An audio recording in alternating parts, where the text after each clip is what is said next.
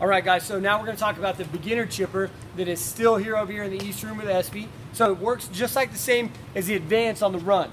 So three, two, one, go. All the athletes will take off. They'll run all the way around. They'll be funneled back in through the door. As soon as their foot hits, bam, bam that's the stop of the first stopwatch.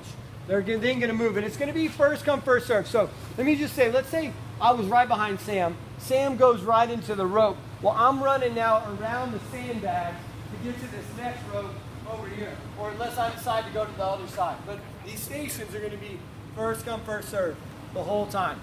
Okay? All right, so um, after the run, we're going 35 fat rope jumps. Nice. After that, we're going 30 sandbag thrusters. Excellent. Beautiful. After that, we're going 25 toes through rings. Go the other way, so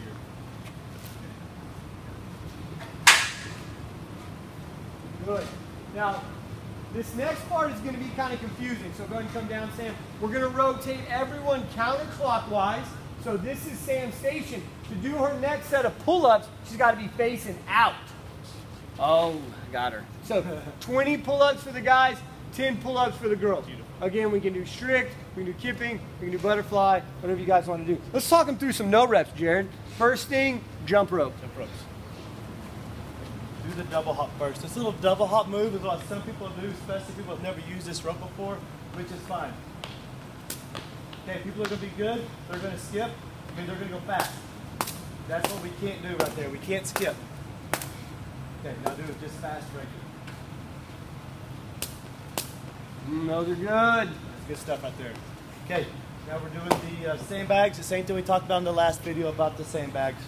Just to get a good lockout at the top. Make sure that bag's off That was no good. Man. Okay, she's showing us bad ones for some oh, reason. Yeah. Okay, now we're back. Okay, toes the rings.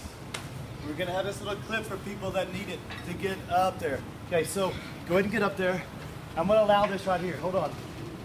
Go ahead and come off of it. Um, you can stop them if you need to, so they don't just go crazy. I don't want them to hit their leg on this and they start start kipping. Okay, go for it. Okay, it's toes through rings. Toes have to go through the rings. It's not toes touching the rings. Do a touch. Do a touch. Do a touch. Yes, it's not toes the bar, toes the rings. It's actually through the rings. Good. Good job, man. Next is pull-ups, right? Pull up. Okay, pull-ups is the same. We just want to make sure we're facing out. Everybody has to face out. Go for it. Kipping, strict, butterfly, all those work. If it's getting close, you need to get up there. There we go